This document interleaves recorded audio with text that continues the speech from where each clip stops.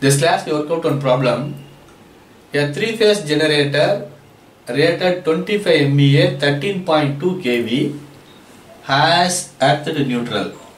It has positive, negative and zero sequence impedances are 30 percentage, 40 percentage and 5 percentage respectively. Resistances are negligible.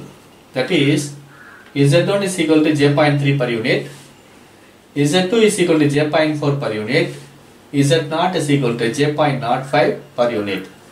The question is, what value of reactance must be placed in the generator neutral so that the fault current for a line to ground fault of zero fault impedance shall not exceed the rated line current. The second question is what value of resistance in neutral will serve the same purpose? That is the question. First step we have to calculate the rated current of the generator. Rating of the generator is 25 MVA, voltage is 13.2 kV, 25,000 divided by root 3 into 13.2. Rated current of the generator is 1093.47 amps. Next I have to calculate the base impedance. Base impedance is equal to base kV squared by base MVA. Here base kV is 13.2, base MVA is 25. 13.2 square divided by 25 that is equal to 6.97 that is the base impedance. We know that in a single line to ground fault fault current IF is equal to 3 into ER divided by Z1 plus Z2 plus Z0 plus 3 into Zn. Let ER is equal to 1 per unit that is generated EMF per phase.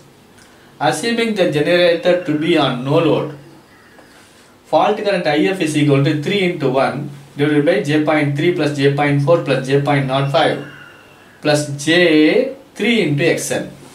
Here where xn is the neutral grounding reactance and we assume fault current is equal to 1 per unit. Therefore 3 is equal to modulus of j 0.3 plus 0.4 plus 0.05 plus 3 into xn. Simplify the equation 3xn is equal to 2.25 xn is equal to 2.25 by 3 that is equal to 0.75 per unit. The value is in per unit. xn value is in per unit. Actual value is per unit value into base value 0.75 into base 6.97. Actual value of xn in ohms is 5.23. The second question is if the reactance is replaced by a resistance R for the same fault current the total impedance should be the same in magnitude. That is, modulus of Z1 plus Z2 plus Z0 is equal to modulus of J into X1 plus X2 plus X1. This is a real imaginary term, this is a real term, 3 into Rn. Here fault current is equal to 1 per unit, we assume. Fault current IF is equal to 3 into ER divided by these three values, that is J.75 plus 3 into Rn now I can calculate 1 is equal to 3 into 3 into 1 that is 3 divided by modulus of j.75 plus 3 into Rn. I simplify the equation that is 3 Rn is equal to 2.91 Rn is equal to 2.91 by 3 that is equal to 0.97 per unit. The resistance value is 0.97 per unit. Actual value of the resistance is per unit value into base value 0.97 into 6.97 that is equal to 6.76 ohms. Now we substitute the value xn is equal to 0.75 in the equation.